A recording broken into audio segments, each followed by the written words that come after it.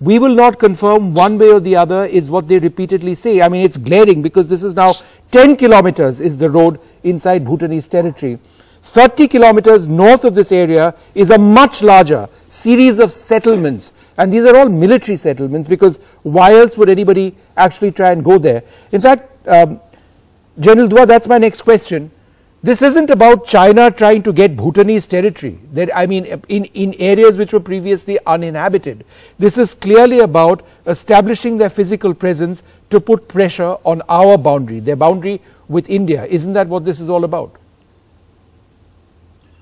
Uh, Vishnu, like General Hooda, I beg your pardon, General Hooda clearly brought out in the beginning, they did try uh, in 2017 where uh, Indian Army stopped them.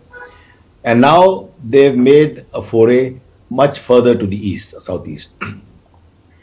Uh, its strategic importance, Jampheri Ridge has already been brought out. But this is a very complex situation because uh, it involves three countries. Uh, Brahma Chellaney just brought out about uh, brought out the relations between the three countries uh, and the dynamic between them at, at the, uh, in the in this context.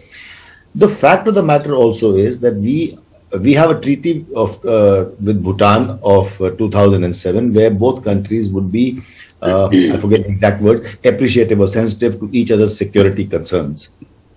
Now, with that having been said, Indian military sensitive as it is, would have plans, have has plans to deal with the situation, uh, deal with the situation as it threatens our security concerns. Right.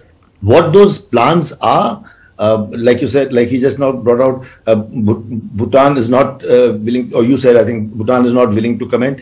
I don't think these plans or what is the what is the intention would ever be made public or would be put in the public domain either by India or by Bhutan.